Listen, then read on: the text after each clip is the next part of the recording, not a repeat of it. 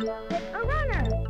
Hello everyone, CrystalFissure here. Welcome to another retrospective. It is The Land Before Time Great Valley Racing Adventure. This game is the biggest born to run. throwaway game you have ever seen. And I mean ever seen. This game is so short, so simple, so average. It's, it really isn't funny at this point. It's just ridiculous. Now, the aim of this game is you need to run through each level like this, collecting stuff, making sure you have enough points to clear the level. It's like an extreme version, or like a 3D version of um, like the running games, you know, that you get like, you know, temple run, stuff like that, except incredibly easy, no risk, no death. Um, it's just, it's pretty much pathetic, really. It's a terrible, terrible game, really.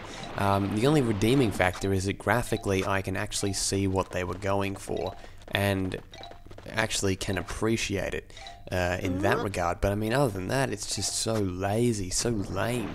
Look at look at it. Look at it. We're riding on this thing like this. It looks like they wanted to implement these cool concepts, and they're like, actually, nah, let's just make it running. Um, now, I don't remember playing this game as a kid. I believe in the original Let's Play I did think I did play it, but I was actually wrong. I got a different game up. It's actually another game where it's basically about running. You like run, it's on the PS1. I remember I played it at my friend Matthew Zool's house. Um, and uh, yeah, there you go, level 1 complete. I mean, look, there's no music in the game as well. That's even worse. I found another track. Another track. Another track? Where? Over there. Another track over there. Yes, there is. What do you think, guys? You want to check it out? How lame is that? Like, like, are they? Uh, who are they trying to? Who are they trying to fool? I mean, that's just ridiculous. No, I don't. We've already unlocked like two levels anyway. Probably unlock like half the levels. So yeah, basically, you know, there's no music. I'm just using my own music here. Right now we got underground undersound ground playing. Check that out it's on SoundCloud. There, there you go. There's my uh, there's my plug. Um, yeah, I'm just gonna put my own music in the as the background music because there's nothing. I mean, look at it. It's just it, there's the one bit. There's the. You know, that's it. But that's that's just like that's it. Other than that, it's done. There's little things here where you jump up, which I think is quite cool. Now, each level I think requires a slightly larger amount of things to be collected here. Now, we actually cleared that first level by like 3,000 points or something like that, I believe. Something pretty crazy. This one, you know, it, it gets more difficult as it goes. Now, they have different values. Let's see what the yellow one does. 6.3 goes to 6.5. That's 200. Yep, that's 200. That's 100. That's that's also was that also wait. I got no idea. Wait. Oh, whoop. What a threat, guys. What a threat. I, I'm, I'm so arrogant. Look at this. I'm going to skip. Oh my god. Look at this guy. Look at this challenge. Oh my god. I'm done. I'm done. Look at it. Done, done, done, done, done, done. We are done, in the words of the Madden brothers. Um, you know that song, you know, done, done, done, done, done, done, we are done. Okay, yep, no singing. Alright, look at this. This is piss easy. Classic game. I don't know anyone that would be able to be satisfied playing this. Like, I mean, like, you just, you just, like, if it feels like everything's on autopilot. Like, I feel like I'm not having to do anything to do this. There you go. Level 2 complete. And look, once you do that, get back to the music. Here comes the amazing track. An obstacle course. Rolling Hills. Dash. Let's play Spike now. We're going to play as every character four times throughout the Let's Play. This will be two parts. Realistically, it only has to be one. This is going to be a little bit like the other game. Um, what's that game called again? It's going to be a bit like uh, the Lion King, where it's just going to be like short, you know, short parts. But I, you know, graphically, like I can actually appreciate this. Like if they converted this into like a, a platformer, like a proper platformer, or you know, something like that, like a action game, like you know, the textures definitely would fit in an actual video game. I, I hardly even class this as a video mm. game. It's not a racer. It doesn't have the speed and fun, you know, like aspect and challenging aspect of a racer. Yet it doesn't have the aspects of a, of a platformer either, with absolutely no risk. You know, like it doesn't make any sense to me. I'm perplexed as to how this game came to be, and who said, "Yeah, man, this is going to be so marketable." Like I don't know, I don't know who's like, "Yeah, this game is going to be like a huge success and a huge," you know. I just can't see it. It must have been really cheap to make or something like that. Uh, a bit of a shout out as well to Nintendo Gen 64, who we did an LP, we did an entire LP of this game, with the first eight levels at least. We did an entire LP of this game in a piss take, kind of piss take uh, commentary style, where we were like really hyper enthusiastic full of life and awesome and cool, man. You know, we're doing that, like taking the piss out of like those big LPs that think they're really top shit by having absolutely nothing useful to say and basing everything around a theme day and being wacky and stupid shit. Here I am. I mean, I'm just taking the piss. I, I mean, who am I to really be that much better at this point? But still, you know. Spike did it. Me see, me find. What you see, what you find, huh? Another track, much harder. It can't be too hard for me. I can do anything. Are you guys coming? no. Um, yeah. It's like, I like it how they're like, oh my god, guys, this is so difficult. And it's like just the easiest thing ever. Anyway, his long neck run. Some of the some of the levels look actually really cool. Like I'll give them that. There's some. I can't remember when this game came out. Like I don't know. I can't remember. I actually I've forgotten. But I actually definitely can appreciate some of yeah, as I said, some of the graphics. Like this this would be so perfect in a, in a proper video game.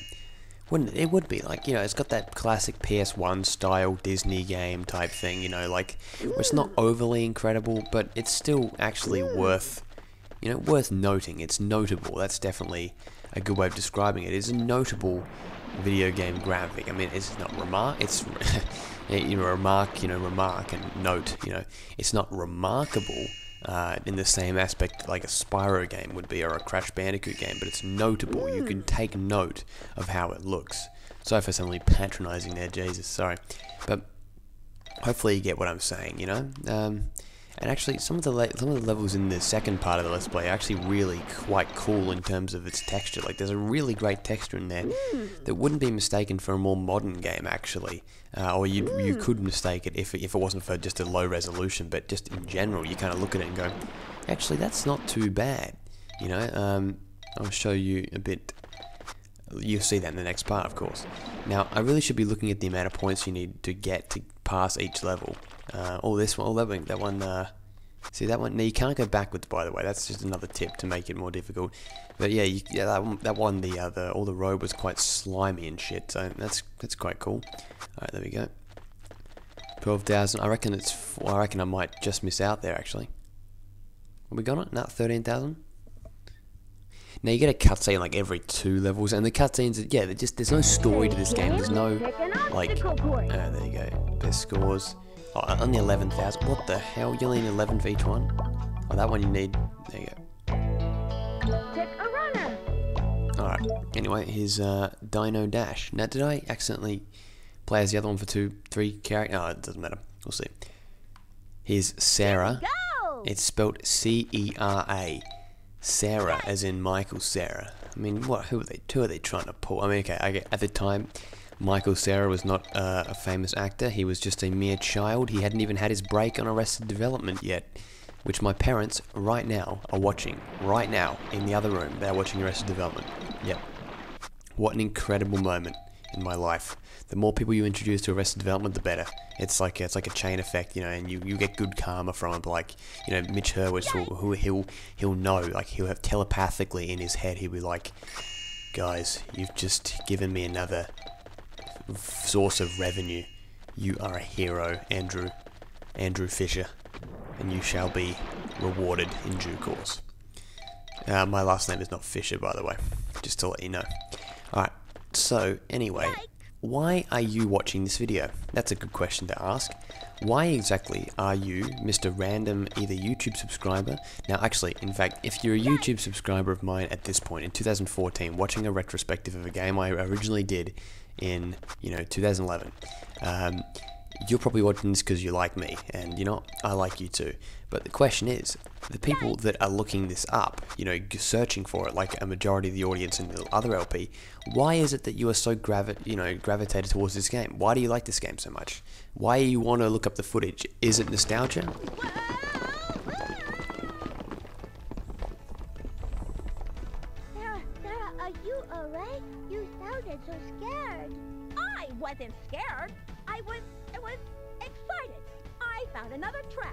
That's exciting. Shall we go see it? What do you say? I sure do. Yeah, so I bet you it's blind nostalgia talking. You're like, oh, I remember that game when I was a kid. Say, game, pick an obstacle course. Alright, that one there. Pick And we'll play. Cera again. Yeah, I, I'd say it have to be some kind of nostalgia kind of goggles. I mean, um, that's not saying you think it's good, Here we go. but you could look at it and be like, oh, you know. I remember this shit. I love this. You know, like I want to just, I want to see if it was as good as I thought. And then you watch me take the piss out of it, and you're like, ah, actually, yeah, you're right. CrystalFissure, you were right. It's uh, it's not a very good game. But having said that, you know, once again, this type of level would look would have looked great in a in a video game, like in a in a proper platform or something like that. Like, why did they make go to the effort to make these kind of textures, make things actually look somewhat decent, only to just saddle it with a non-racing game, a a walking game. Uh, also, just to point out, I'm just gonna get off because I thought it'd be funny. Um, just to point out.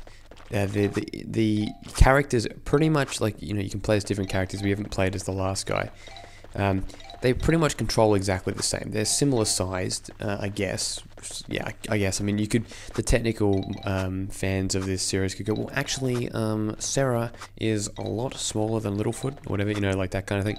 But you know, I think that I think the fourth character is a completely different shape, um, or like you know, the body type. But you know, for the most part, these guys are all very very similar. You know, so it's kind of interesting as to why, in fact, uh, you know, why in fact they even had different characters because it's like it's just pointless. It's like it's a completely cosmetic change. There's no benefit to using a certain character or not using a certain character, and that's probably another bad thing about it. They should have made it actually different. You know, that would have been good. Make make the game a little bit different to to normal. You know, actually give you an incentive to play as a different character. And Ducky, see here you go. Ducky looks completely different. You know, I'll give I'll give them that. The credit the credit should be should be given in this case. See, look, these are small little shit. Yeah, let's go. I sound like an idiot. And uh, and also, I'm guessing a lot of you are just fans of the series as well. The um the, the I wasn't gonna say My Little Pony. No, the the Land Before Time series. Um, now, I believe I think it was Mr. Ratchet Five that when he guest starred in this LP. Um, I think he said that some of the levels are based on movie locations. So I guess that's another cool reason to play this if you want to like look at like look at how it looked like in the movie because I mean there's a lot of Land Before Time films. There's even a, there's like th- at least three Land Before Time video games uh, o- uh, on the PlayStation One. Uh, there's like Big Water Adventure, which is like a 2D game, and this other one, which is really fascinating, really weird, uh, 3D platformer that has like six levels. Like it's it's pretty ridiculous. I'll probably end up doing an LP of it down the line. Oh shit, that was a big mistake. Ugh, to quote Arrested Development, I made a huge mistake. Oh, oh no, I missed them too. I couldn't see the blue because it was too dark. Might this might be the first level I have to redo, guys. Oh no. Please tell me it's only 12,000. Oh shit. Yep. Didn't get enough. First time, didn't get enough. That's that's alright. It happens. It's because I missed that huge pile one there. Oh, Pick an obstacle course. Pick a runner. Ducky. You know, I blame Ducky. Ducky sucks. He's not big enough to pick up all the pick up all the ones. Alright. Let's do it again. Screw you, Ducky. You're a disgrace. Go. I can't believe I have to play you one extra time. And if I fail again, two extra times. Alright. Anyway, let's focus on this. Let's, we, let's do this. And the- last level uh, of this like part is um, they're like what's the word? Uh, wait a minute. Wait. Wait, wait, wait. Okay, I thought I thought I was holding down a button that would do something different. Anyway, it doesn't matter.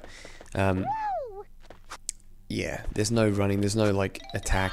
Oh wait, speed burst. What the? F- oh my god, I'm an idiot. What the hell is the speed burst? And it's just ruined my points. So, great. Thanks, speed boost. You piece of shit. All right, when you get one of those ones, yeah, yeah, I got you. See, you see the thing there? See, when you get a yellow one, gives you a speed boost. But the thing is, the thing is, why would you want to go faster? Because in this case, uh, there we go. Nah, that's just stupid. This is the dumbest idea I've ever seen in my life. Oh my god. Oh no. I did it. I did it.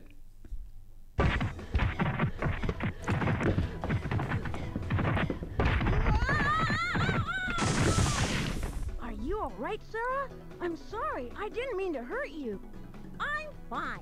It takes more than a clumsy long neck to hurt a three-horn. Look, look, Littlefoot's boulder open, new cave track.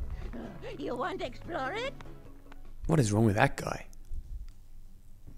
I remember seeing a Land for Time ki- uh, movie when I was a kid, and I loved it. Pick an obstacle course. Yet I only saw it like once, so I can't remember much from it actually. But I to love the animation, like dinosaurs. It was cool. It was some good stuff. Good, good stuff. Anyway, in the original LP and these final two parts, I had guest commentators Nintendo 64, Rabid Wombat JR, now known as Fahrenheit Frenzy, and uh, and Crash Spyro 12, now known as Dingo Crash. And we laughed so hard because I said, This is part 8 and the final part of the Let's Play. This is before I knew about all the bonus levels. And we just thought it was so funny. It's like, you know, each part took like a minute to record. You know what I mean? Like, I mean, other than the fact that it gave good views, there's practically no point in splitting these levels up into separate parts because they take upwards of like two minutes, you know, for the most part. Like, each level is very short. The only reason I screwed up there was because I was an idiot. You know what I mean? They, you can pretty much do them all in one go. There's no challenge to them whatsoever.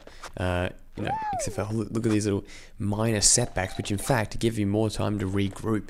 So there's absolutely no like hardship, no annoying aspect of this game really. Like in term, if you know, if you can't being annoyed at its averageness, uh, something, you know. But like, alright, maybe I might miss out here. Actually, this is important. Alright. There we go. I had to make it over to that one. And speed. Ready? Let's do a speed boost. Oh yeah, you see that? Oh yeah. Oh shit. Did I do it? Twelve thousand is all you need? I hope so. Well, look at this. Look look what happens here. You beat all the levels. No, I don't want to save. an obstacle course. You know, that's it. That's it. Quick game. You sure you want to quit? Yep. Music volume, like there's any music. Great Valley. Pick a racetrack. Pick a runner. Alright, so in the next part, we are going to be doing the racetracks. So thank you very much for watching, guys. This has been a random first part. Really, how can even? Yeah, it's just it's just been a, it's just been a let's play part. It's just getting a retrospective out of the way because I did it and I have to.